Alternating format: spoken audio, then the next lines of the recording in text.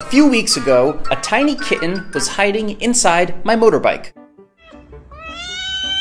She was too young to survive on her own, so I adopted her. Now she's best friends with my dog, and this is her inside a motorbike helmet. Anyways, like me, she loves to eat fish. So now when I go spearfishing, I often catch a few extra fish for cat food. It's kind of weird though, how something so small and cute and cuddly requires the daily murder of other animals in order to survive. Most generic cat food is like the kitten equivalent of fast food. It's not healthy, and it's much more expensive than just catching the food myself. Mm-hmm. But it is weird. If I don't end the lives of other animals multiple times a week, then this cute and cuddly little creature would literally starve to death. To the vegans of the world, this is a genuine question. What do you propose I do? Kill my kitten or kill other animals to feed my kitten?